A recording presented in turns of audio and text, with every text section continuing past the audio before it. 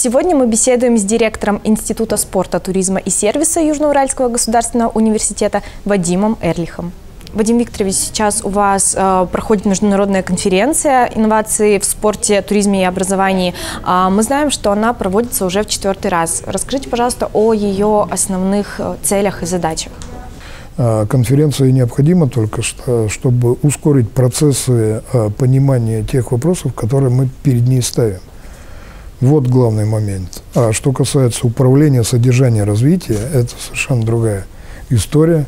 Это у нас всегда в приоритете, потому что сам кампус спортивных сооружений, а, правильность подбора инструментария, тренировочных там вещей, да, и а, оборудование – это очень важно, очень важно. Поэтому мы каждый год этим занимаемся.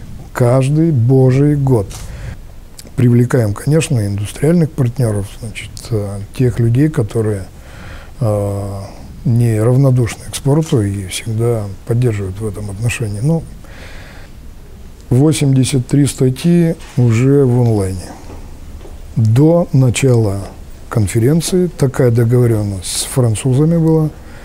Значит, они должны быть уже по их правилам, меркам, отработанные, значит, отрецензированы, все как положено. Должны за день до конференции должны быть уже в онлайне.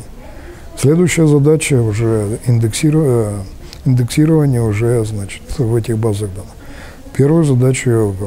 Что касается международной конференции вместе с вишенкой на торте, я сделал. Это тоже уже хорошо. Сейчас, на данный момент, значит, все коллеги из-за рубежа находятся в Центре спортивной науки.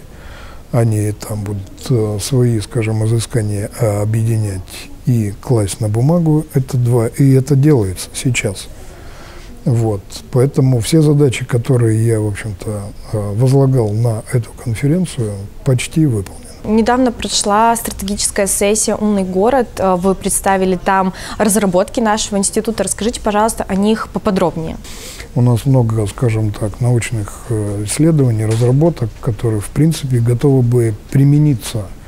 И одно из направлений, одно из направлений – это э, создание умных тренажеров и там, тренажеров будущего, залов будущего вот, которые бы основывались на а, определенном тренажерном ряде, где не, нужны, а, не нужен тренерский состав, а, значит, нужен, полагаю, администратор, ну, может быть, один человек, который контролирует всю работу.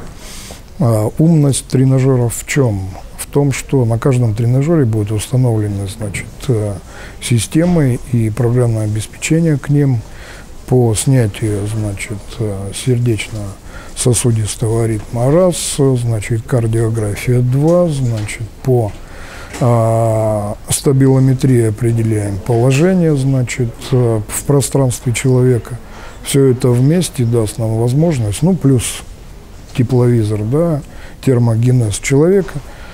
Все вместе мы с, попробуем, скажем, привести, проанализировать, в конце концов, а, аналитики у нас в подразделении присутствуют, э, сделать так, чтобы мы ответили на вопросы, скажем так, почему нужно человеку заниматься, раз, э, э, и какие упражнения по своей последовательности делать.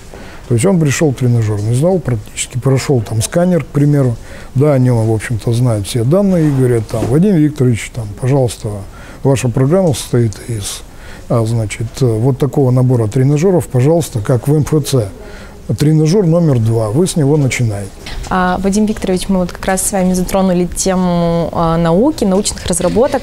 А, немножко провокационный вопрос. Скажите, а, как вы считаете, как все-таки связан спорт и наука? Ну, на сегодняшний день спорт настолько продвинулся, да, и а, значит, мы сейчас э, бьемся за доли там десятых или даже тысячных, там сотых, там тысячных, да, единиц секунды за результат уже без науки никак, потому что чем мы сейчас заняты, это моделирование цифровое кинематических действий значит, спортсмена или человека, или модель идеального спортсмена цифровая, она способна, на мой взгляд, все-таки э, сделать прорыв в плане спорта и, скажем так, исключить некоторые вещи в спортивной тренировке.